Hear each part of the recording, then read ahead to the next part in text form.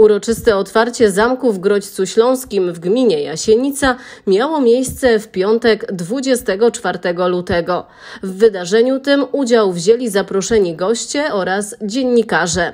Nie zabrakło oficjalnych wystąpień, gratulacji i podziękowań, zwłaszcza dla właściciela zamku Michała Bożka. To, że dzisiaj zamek wygląda tak, jak wygląda, z tymi wszystkimi zbiorami, to jest to pewne, że jest to własność prywatna. Ale jeżeli jest możliwość udostępnienia tego na zewnątrz i każdy będzie mógł to zwiedzić i podziwiać, to to już jest dobra wola. I za to chcę bardzo serdecznie podziękować, ponieważ e, każdy z nas kiedyś dojdzie do tej granicy przejścia z tego świata na tamten. I nikt z nas nie zabierze praktycznie nic, poza tym, co udało mu się dobrego uczynić do drugiego człowieka. A to, co zostało dzisiaj od zapomnienia, można powiedzieć, zrewitalizowane, odświeżone, odnowione, zostanie do następnego pokolenia. Jasne, że każdy, kto będzie miał w dalszej historii ten zamek, będzie to jego własność. Ale czy to sprzeda, czy to udostępni, to jedno jest pewne, że to będzie.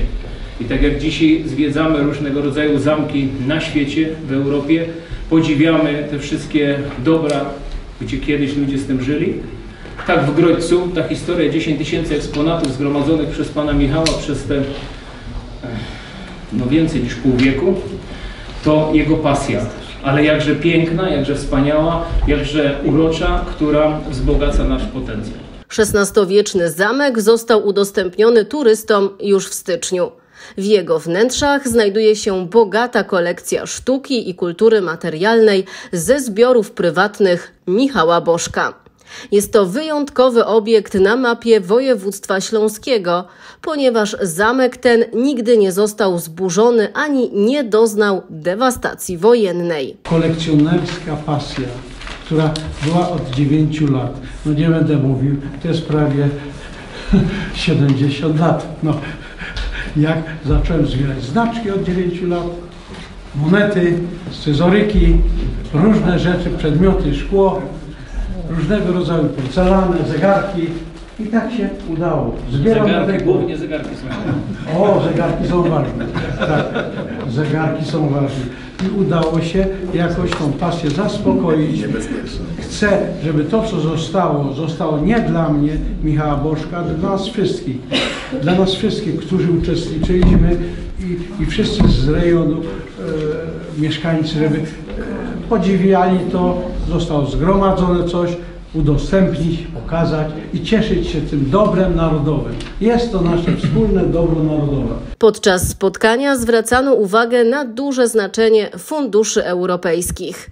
Projekt Rewitalizacja Zamku w Grodźcu Śląskim wraz z adaptacją na cele kulturalne o wartości 8,5 miliona złotych otrzymał w 2018 roku blisko 6 milionów złotych dofinansowania ze środków europejskich. Ja się cieszę, że właśnie mm, ten upór doprowadził do tego te 6 milionów mm, z funduszy mm, województwa śląskiego, z funduszy europejskich, wprost mówiąc, doprowadził do tego, że takie arcyciekawe miejsce na naszej mapie powstało, będzie, jestem o tym przekonany, będzie cieszyło, przyciągało uwagę. Tak fundusze europejskie wyglądają w praktyce. Często te skomplikowane projekty o długiej historii mają mm, bardzo dobry, pozytywny finał.